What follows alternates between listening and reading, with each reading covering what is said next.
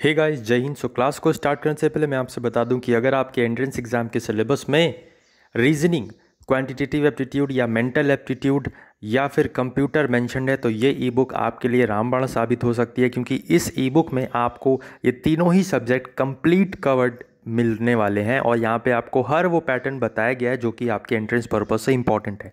पूरा पूरा जो निचोड़ होता है और हर एक पैटर्न आपको यहाँ पे कवर किया गया है।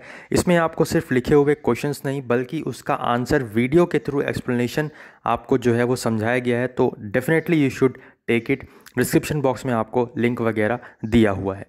चलिए क्लास पे आते हैं। क्लास को स्टार्ट करते हैं।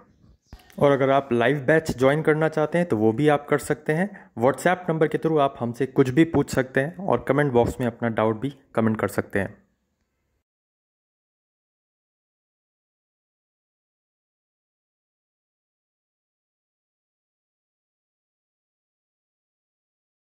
चलिए स्टार्ट करते हैं। क्वांटिटी सो यहाँ पे क्वांटिटी किसे बोलते हैं? That can be express in numbers जिसे हम नंबर्स में एक्सप्लेन कर सकते हैं, जिसे नंबर में एक्सप्रेस कर सकते हैं दैट इज़ व्हाट क्वांटिटी अब जैसे एज है, बताते हैं हम कि सत्रह साल के हैं अट्ठारह साल के हैं, बीस साल के हैं, पच्चीस साल के हैं, अस्सी साल के हैं, नब्बे साल के हैं। ये क्या है? हम उस चीज़ को क्वांटिटी में एक्सप्रेस कर रहे हैं नंबर्स में एक्सप्रेस कर रहे हैं that is why it is called as quantity as quantity है टेम्परेचर भी क्वांटिटी है thirty two degree Celsius ninety eight point two degree Fahrenheit and so on तो ये सब हमारा क्वांटिटी है। फ़िज़िकल क्वांटिटी की अच्छा बात करें तो quantity that obey law of physics quantity तो हो गया कि जिसे हम नंबर में एक्सप्रेस कर, कर सकते हैं। लेकिन फ़िज़िकल क्वांटिटी की बात करें तो जो हमारे फिजिक्स के लॉज को फॉलो करती है वो सब हमारे यहाँ पे फ़िज़िकल क्वांटिटी में आती है। जैसे कि फोर्स हुआ न्यूटन हुआ फोर्स की एक यूनिट है न्यूटन और इसकी जो सी जी एस में देखें तो यहाँ पे आपका किलोग्राम और मीटर पर सेकेंड स्क्वायर आपको देखने को मिलता है एम सिस्टम में ठीक है? तो ये चीज़ आपको ध्यान रखनी है। नेक्स्ट यहाँ पे कुछ ऐसा यूनिट्स हैं। मैं आपको बताना चाहूँगा कि फंडामेंटल यूनिट्स हमारे पास टोटल कितनी है? सेवन ठीक है? तो ये सब आपको ध्यान रखना है। बेसिक है, लेकिन ध्यान रखना है।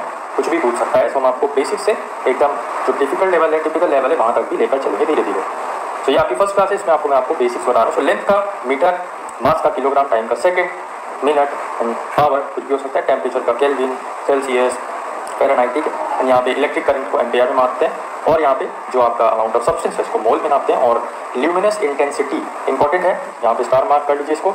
ल्यूमिनस इंटेंसिटी जो है आपका, ये कैंडेला इसकी यूनिट है तो आपको ध्यान रखना है। प्लेन एंगल की बात करें तो प्लेन एंगल यहाँ पे रेडियन में नापते हैं और सॉलिड एंगल की बात करें तो ये नापते हैं हम स्टेल रेडियन में। आगे बढ़ते हैं हम, अपनी क्लास को आगे ले चलते हैं और यहाँ पे देखते हैं सिस्टम ऑफ़ यूनिट्स जैसा कि आप सभी को पता है।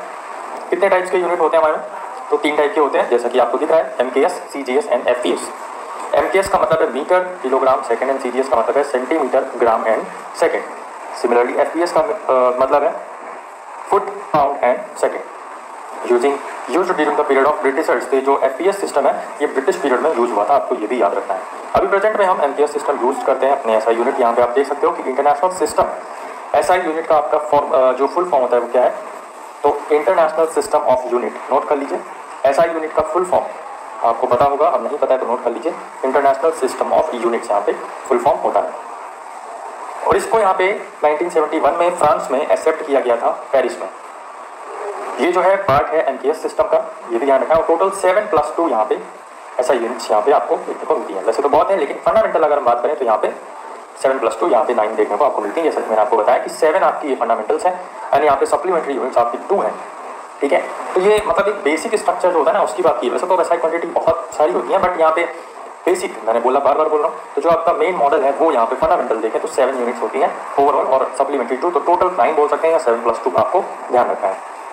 अब बात आती है फोर्स की। तो फोर्स की अगर हम बात करें तो फोर्स की यहाँ पे हम देखते हैं तो सी में इसकी जो यूनिट होती है, वो होती है डाइन डायन डाइन नॉट डायन it's dyne D Y N E C G S system ठीक है? एस सिस्टम में देखें तो न्यूटन होती है। One newton is equals to ten की पावर फाइव डाइन होता है, और वन न्यूटन को ही हम यहाँ पे kilogram metre per second square में भी लिख सकते हैं। एफ़ इज़ इक्वल्स टू एक फॉर्मूला होता है एम इंटू ए जहाँ पे M is for mass and A is for acceleration comment करके बताइए आप लोग कि F is equals to M A ये न्यूटन के किस लॉ में बताया गया है। पूरी क्लास कर लीजिए, फिर बताइएगा। वर्क का जो फॉर्मूला होता है, आपको याद रखना है एफ़ डी कॉस थीटा होता है, जब हमारा थीटा दिया होता है अदरवाइज़ हम एफ़ डी लगा सकते हैं। F is for force and D is for displacement work तभी होता है जब वहाँ पे डिस्प्लेसमेंट होता है। अगर नो डिस्प्लेसमेंट आया तो वहाँ पे कोई वर्क नहीं हुआ ये कहती है फिजिक्स ओके नेक्स्ट चलते हैं, हम आगे बढ़ते हैं और यहाँ पे देखते हैं अगला कॉन्सेप्ट हमारा क्या होने वाला है। तो डायमेंशन ऑफ़ इंपॉर्टेंट यूनिट्स अब यहाँ पे आपको देखने को मिलेंगी। कुछ इंपॉर्टेंट डायमेंशन में आपको लेकर आया हूँ इस क्लास में। आगे और भी लाऊँगा। बहरहाल, यहाँ पे आप जो बेसिक वाले हैं सब वो आप ध्यान रखिए। स्पीड के जो फॉर्मूला होता है, आप सभी को पता ही है, आपने अभी इंटर में पढ़ के आए हैं कि जो फॉर्मूला होता है, उसी पे बेस्ड हमारा डायमेंशन बनते हैं। ओके तो यहाँ पे आप देख सकते हो स्पीड का जो फॉर्मूला है, वो है डिस्टेंस अपॉन टाइम और इसका डायमेंशन जो है, वो M L T minus one आपको ध्यान रखना है। सिमिलरली वेलोसिटी में डिस्प्लेसमेंट अपॉन टाइम होता है और इसकी जो डायमेंशन होता है, वो होता है L T minus one speed और वेलोसिटी में डिफरेंस है, याद रखिएगा। स्पीड में हमारी displacement upon sorry distance upon time होता है स्पीड में एंड वेलोसिटी की बात करें, वहाँ पे डिस्प्लेसमेंट अपॉन टाइम देखने को मिलता है। एक्सेलरेशन की बात करें तो change in velocity upon time इसकी यूनिट की बात करें तो मीटर पर सेकंड स्क्वायर इसकी यूनिट होती है एक्सेलरेशन की। और यहाँ पे बात करें तो इसका जो डायमेंशन होता है, वो आपका होता है L T minus two okay याद रखना है आपको। नेक्स्ट यहाँ पे बात करें तो फोर्स हमारा आता है। फोर्स का भी मैंने आपको बताया कि इसको डाइन बीस की यूनिट होती है और न्यूटन बीस की यूनिट होती है। Kilogram metre per second square भी हम इसको लिखते हैं। नेक्स्ट अगर बात करें तो यहाँ पे force is equals to M into A mass acceleration ये मैंने आपको बताया is for mass and A for acceleration इसका अगर हम डायमेंशनल फॉर्मुला देते हैं तो M L T minus two यहाँ पे इसका डायमेंशनल फॉर्मुला बन जाता है। नेक्स्ट एक इंपॉर्टेंट यूनिट है, याद रखना है आपको प्रेशर प्रेशर का जो फॉर्मूला होता है, वो होता है फोर्स अपॉन एरिया क्या?